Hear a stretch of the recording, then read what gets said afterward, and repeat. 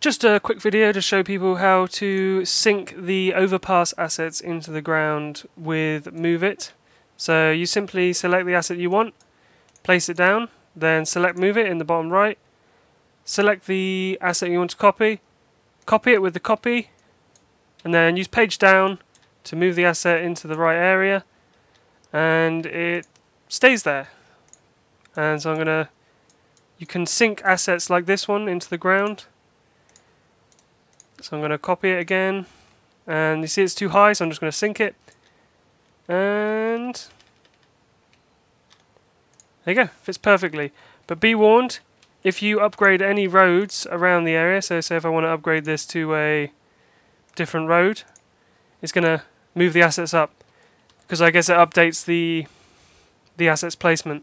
So you must place everything last for these assets you must also have Anarchy enabled and Tree and Prop Anarchy enabled in order to place it close to a road.